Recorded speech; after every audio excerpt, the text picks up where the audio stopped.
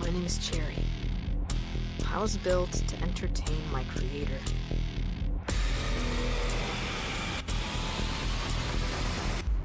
The smartest and most talented engineer ever born into this rotten planet.